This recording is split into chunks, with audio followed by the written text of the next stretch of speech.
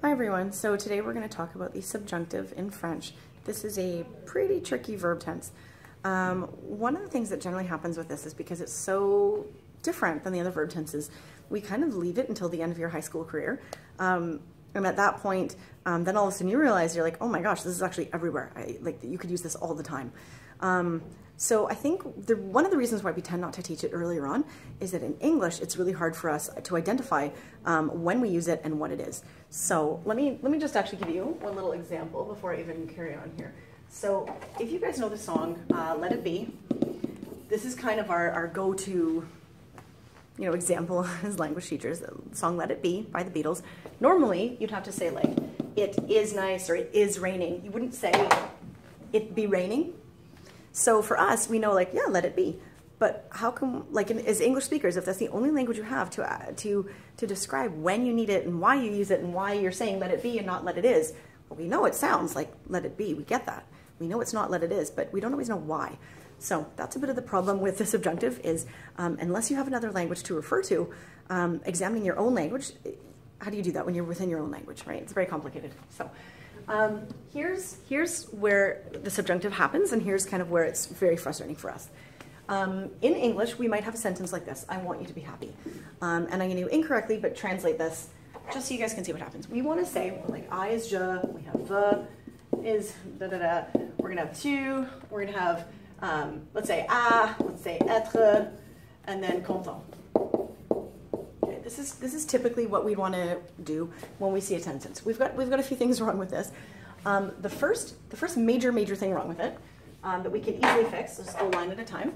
Um, so think of it like a math equation where every time you you write something, um, whatever you change. So let's say this here is is a problem. Um, I'm going to just change that in the next line.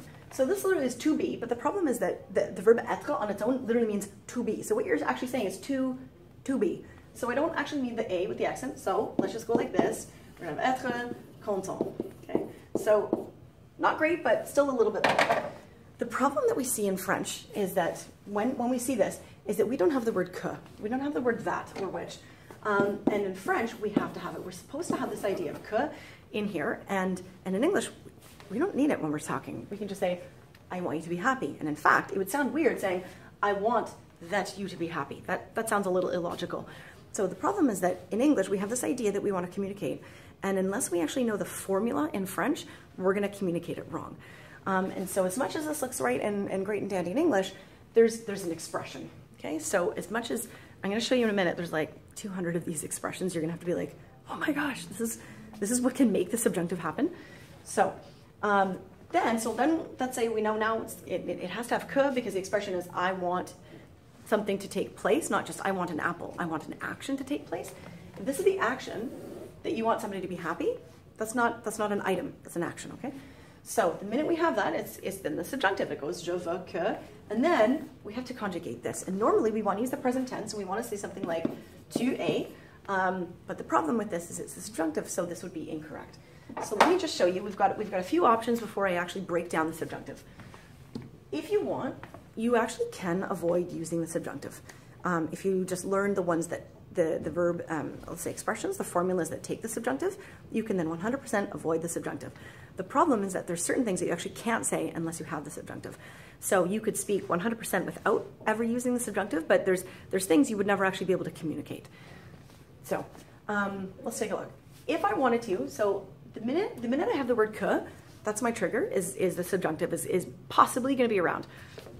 Not always, because there's certain words that, um, let's, here's an example. Um, let's say, um, I don't know, la chaise, uh, I don't know, que tu veux. The chair that you want, because it's a noun and not like an action, it's the chair that you want, I can have que, and it doesn't have to be the subjunctive. So having said that though, is any, any, any time you see the word que, that's kind of your trigger. Like in grade eight, you don't learn about the subjunctive necessarily. You, you're like, ki, what do I do, blah, blah, blah. But now that maybe you're a little bit older and you're looking at the subjunctive, anytime you see the word que, that is kind of your big red flag, like, oh my gosh, this could maybe be the subjunctive. Then you'd go to your list and you'd have to be like, okay, is it on the list? If it's not on the list, it's not the subjunctive.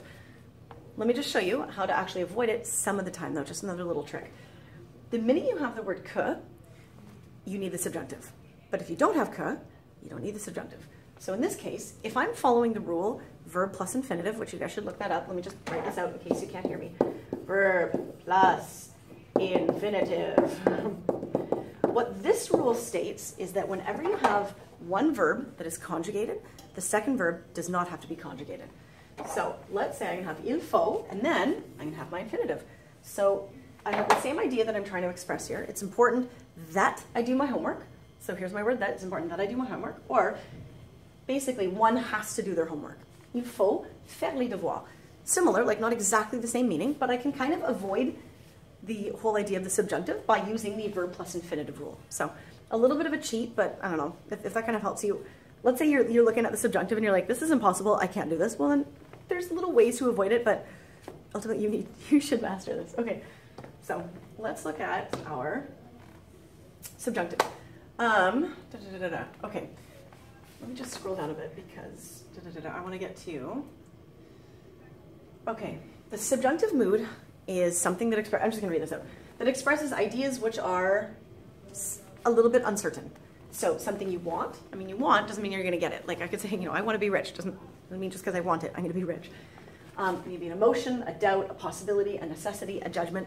Basically, anytime something is not a fact, then you're using the subjunctive. Okay, anytime there's a possibility that it may not happen, that's generally when the subjunctive kicks in, which is very frustrating because you're like, isn't life full of uncertainty? And then every sentence I make now, I'm full of uncertainty. Yes. So really, if you're speaking correctly, the subjunctive kind of should be everywhere. Um, I think the problem is that for us English speakers, when we speak, we don't always speak correctly, and so you don't even know when you're using the subjunctive or not. Um, some verbs sound the same with the subjunctive, some don't, so it's not like something you're, you're very acutely aware of as you're speaking day to day. Um, so here's, here's a few things. So I've made a few little lists that I've kind of plagiarized from other sources. Um, so here are verbs and expressions which expresses someone's will, an order, a need, advice, or a desire. All of these require the subjunctive. So let's say, um, where, what's the last one? To desire that, I can say. I desire, oh, actually that sounds odd in English, we wouldn't say this. What's it? It's important that, that's a good one. It is important that you finish your homework. Well, that's the subjunctive. Because here I've got my que, where is it? Important, que. The minute I have my que, I have to be like, ah, look at my list. Is it on my list? If I see the subjunctive, or the, this expression on the subjunctive list, and it's like, yeah, now I have to use the subjunctive. And I'll show you later how to actually make the subjunctive. But the first and the hardest part is actually identifying the subjunctive.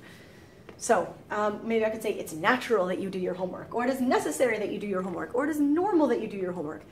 If I just say do your homework, I don't, I don't need the word could in there, so therefore it's not subjunctive. So these are all, again, somebody's like a desire, a need, a piece of advice, there's still an element of uncertainty that it may or may not happen. Okay, it's like a request. Just because you're requesting doesn't mean it's it's like, will you marry me? Maybe, maybe not. Right? Just because you ask doesn't mean you're going to get it. So again, all of these here are subjunctive. I've got pages of this stuff. This is horrible. Okay, so um, here's another one, another grouping. It is emotions, um, so such as fear, happiness, anger, regret, surprise. So for example, I hate that you do your homework, or I am happy that you do your homework, or I'm sorry that you do your homework. I'm surprised that you do your homework. Anything to do with an emotion. Because, now, let's just pause for a second. Let's just say I'm happy. I'm not saying I'm happy that you do your homework. I'm happy you're doing your homework, because that still implies the word that. Maybe I'm just saying I'm happy, then I would just say, je suis content. I don't, I don't need to make it um, subjunctive, because unless I have my que, there's no need for subjunctive. If it's just pure, I'm happy, I will be happy, I was happy, those are just regular normal verb tenses. The minute I have the que, now it becomes subjunctive because now I'm saying I'm happy that you've done your homework. So one of the tricks I would say is that in English, if you can insert the word that, even if you don't normally, if you can insert the word that, do it in French all the time because that's kind of how the French speak. Like if I said the girl I like, that's how we would normally say it in English. But if I can say the girl that I like, that's kind of a little clue. The French are going to want you to use the word que. Okay? So, um, okay, let's carry on. Da -da -da. That last example I gave you, by the way, was not subjunctive. It was just, do I use que, yes or no? So, um, oh, this is not, okay, let's just go like this then. So, all right, verbs that express a doubt, a possibility, a supposition, a, an opinion, for example, I doubt that you have done your homework. It is fitting that you do your homework. It is false that you do your homework. It is impossible that you do your homework, okay? Anything with a doubt, and again, you can see there's, but it's still doubt, like it's uncertain right? Like they're saying, like, it's impossible that you do your homework. Well, until you can say you did not do your homework. Well, that's now a fact. That's yes or no, right or wrong. It's it's done. But they're like, if it's impossible, well, someone's always like, I'm going to prove you wrong. so, um, okay. Again, let it be. So we have other phrases. So, for example, some of the conjunctive phrases basically mean stuff that combines sentences. Um, also requires the subjunctive. But again, it's not the end of the world as long as you, you you'll. It's more like exposure. Think of it like that. Because as much as I'm showing you like pages of lists, if you had your list and every day you're like, okay, I'm just going to kind of try and listen for this one. And then the next day you're like, I'm going to try and listen for this one. And over time, you're going to start to hear similar ones kind of popping up. And then you're going to be like, okay, I just, I've heard it enough that I just know it, right? It's like, it's like listening to music. If, if somebody played you a song, you'd never heard it before, you've never heard the musician before, you would have no idea who made it. But let's say you're at a party and you hear it once. And then maybe the next time you're like, oh, I think this sounds familiar. I don't know who it is. I can't remember, but I feel like I've heard it. Well, then you hear it again and you're like, oh, I, that's the Beatles. Well, then maybe, you know, another week goes by and you hear it again. You're like, oh, I forget the name, but I know it. Oh, it was the Beatles. I remember, I remember. Well, then maybe by the time the fourth or the fifth time you hear the song, you're like, that's the Beatles. I know it. I don't need to look it up. I don't need to like Spotify the song. You're like, that's a Beatles song. I know it. Kind of how it works with this. Once you've seen the sentence enough times, you're eventually just going to be like, oh, I, yeah, I remember it. Does that take the subjunctive? Yes or no? Um, do I have this whole list memorized? No, I should, but I don't. There's so much stuff on here. But some of the main ones, you're like, yeah, I know that. I've heard that a lot. I guess I'm not around people that are like, until, or even though, I don't know, whatever. So, um, however, here's the tricky stuff. There are times that you're going to see uh, where you have the word que and it's not subjunctive. So, um, these do not take conjunction, or the conjunctions do not take subjunctive because, in theory, what they're expressing is fact and it's certain. So before, when it was like, I doubt that you can do this, or I'm happy that you can do this, there's still the uncertainty factor. Here, it's not necessarily uncertain. It's like, it's like a therefore, right? So we have a since, or because, or since, or when, because, while. All of these things that take the word que in French, in, in, in um, sorry, they don't, sorry, that's why. They don't take the subjunctive because it is a fact. It's 100%, it's going to happen. It's like, you are a feline because you are a cat. If this equals this, that's a fact. It's not like you're a feline maybe because maybe you're a cat. No, like this equals this. So think of it like cause and consequence. If it's cause and consequence, then it's not then it's just a fact. It's not, it's not an opinion. There's not a probability of it not happening. Okay, um, these verbs and expressions do not take the subjunctive when they're used in the affirmative, um, but when they're in the negative, they take the subjunctive. I can't even tell you why this is. I think French people were doing a little bit of, a little bit of drinking when they were making this stuff going on. Um, in the affirmative, so when you say when it's positive, no subjunctive. But the minute it's negative, then it does take the subjunctive, which there's no logic. Like why? Why? Who knows? Um, I mean, there must be logic. Maybe the, the logic is that if it's negative, then there is an element of doubt or uncertainty. I don't know. It's just for us as English speakers, this is very frustrating. It's just exposure. Like, I don't know if you could actually sit down and memorize this whole thing because that would be, well, maybe you could. Not fun. Okay. How do you actually conjugate the subjunctive? The nice thing with how to actually conjugate it is, is the hardest part is not the conjugating. The hardest part is being like, do I use it, yes or no? That's the biggest challenge.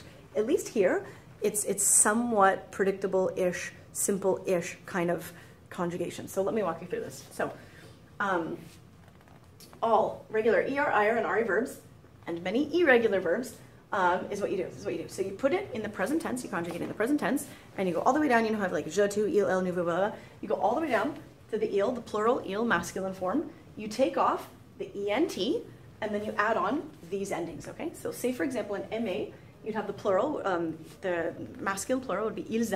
So A-I-M-E-N-T. We drop off the E-N-T, and then our stem is A-I-M. Hopefully, oh, let me just read the next ones. With finir, you conjugate it like, so they finish, you'd finis. Okay, we drop off the E-N-T, and then you're left with F-I-N-I-S-S. Hopefully that kind of makes sense. Um, and then these are the endings you add on. Je, you add on E, which is kind of nice because like a present tense ER verb. With um, tu, you add on ES, E.